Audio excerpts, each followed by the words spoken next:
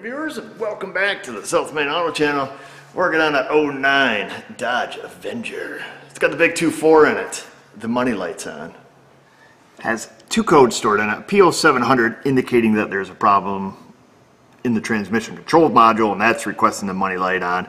And then we also have this P2441 air pump switch valve stuck closed, it says. Now, I was kind of giving this thing a little gander. I did not even know that Chrysler had air injection reactors on them because you don't see them that often, but the, the air pump lives. Let me show you what I've discovered. It's a pretty simple system, way less complicated than General Motors. Uh, so our air pump is down here. You can't see much of it, but it's the big round black canister down here. So there's that. That is the air pump.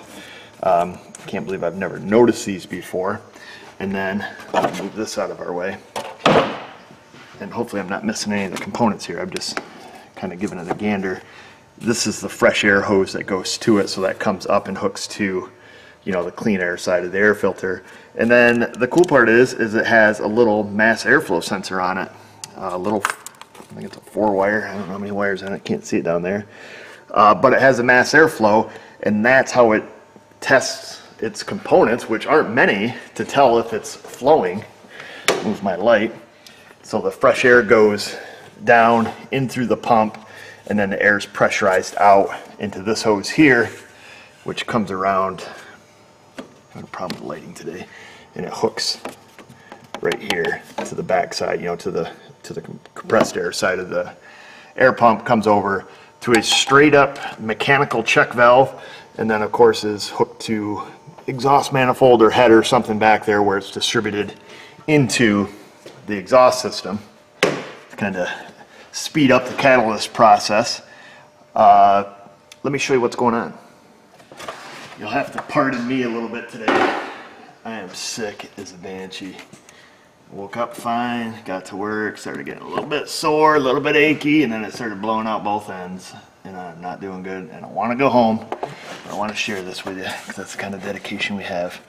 So let me uh, tune this down here a little bit so we can see. I'm going to back out of here. And what we're going to do is, uh, because of the code, well the code definition anyways, whatever that was, air pump switch valve stuck closed. The only valve on the system is the mechanical valve right here, the back, uh, the check valve to keep the exhaust gases from going back through the system and burning everything up. uh, I assume, we could look at service data, but I assume that it uses the mass airflow to check functionality of this valve, you know. If this valve's not flowing, there's not going to be any, you know, air being pulled through the mass airflow. It'd just be, you know, deadheaded. So we're going to go with that. We're going to go to active test, and all we want to do is make sure that the pump works.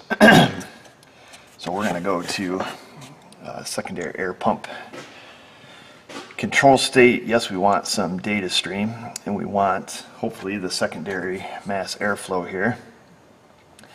And we will find that.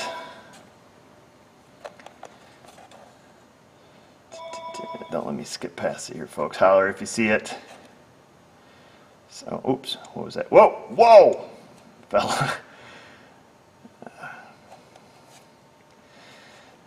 Speed, oh, there we go. Secondary mass airflow sensor. And then the volts, and that is it. We will hit OK. All right, F1 toggle on, F2 off, F3 toggle, okay. So here we are, there's our voltage. So let's see, hopefully you guys can see, I got you kind of in a wonky position. So we're gonna turn it on, now we should see with mass eyes, soon the voltage will increase with airflow, so we'll turn it on.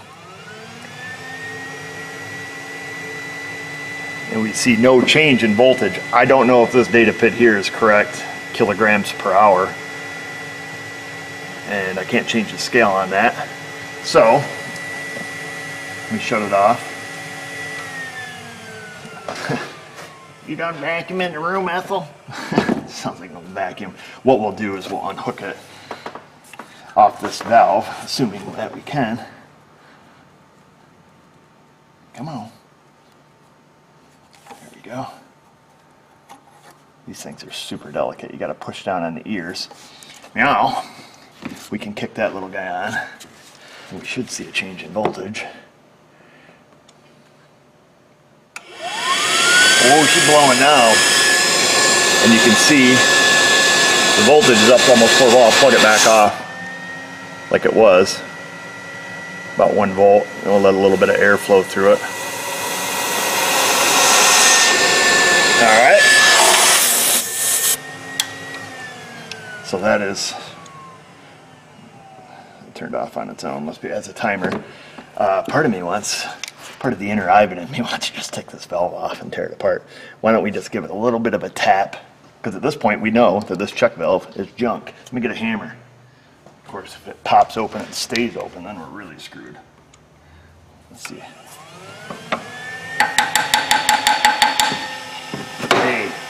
Look at that. How she's flowing. So 3.77 volts. Oops. Turn it back off here. Oops, crap. Ah. I'm always hitting the wrong freaking buttons, folks. I should not even be here today. What we have to do now is we got we should actually start up the car and make sure that it's uh, not stuck open. Let's kick it back on here. Can you guys see? Good. Yep, and it's actually open and working now, 3.8 volts.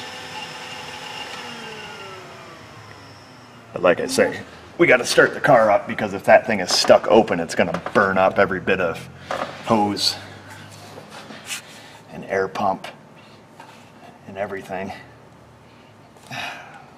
Get this thing up done again. Come on, you little sucker. You came off there easier the first go round.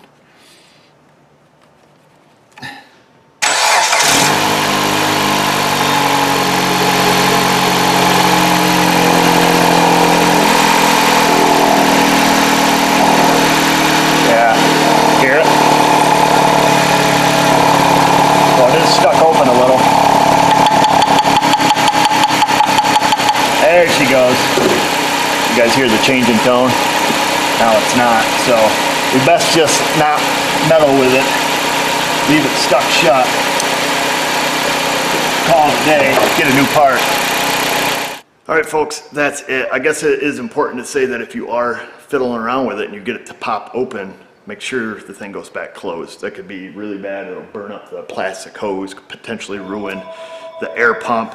So you want to take care of that. Obviously, this car is going to get a new valve uh, to fix it. So I'll get that coming. The code stored in the transmission module is for low voltage, low battery voltage, and it has that code stored in about every other module also car has the original battery and she has had to jump start it a couple times. So I'm just gonna check out the charging system, which I assume is fine, and then replace the battery, which is what, 10 years old. That's pretty dang good.